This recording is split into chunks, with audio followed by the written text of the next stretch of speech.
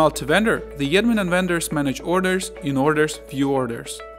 Here's the list of all orders with statuses that can be changed. Each line has info about the customer, such as name and phone number, the date of the order placement, and the amount of money paid for the order. You and your vendors can search for orders and use the advanced search with more parameters.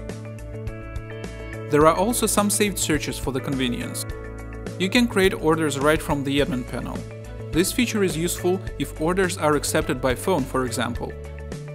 The order creation page features convenient select two fields. They suggest you variants as you type. Once you fill in the necessary fields, choose the initial order status and click Create. You can reorder statuses and create new statuses so that they suit your business workflow. To edit statuses, go to Administration, Order Statuses. Here you can rearrange them. And create new.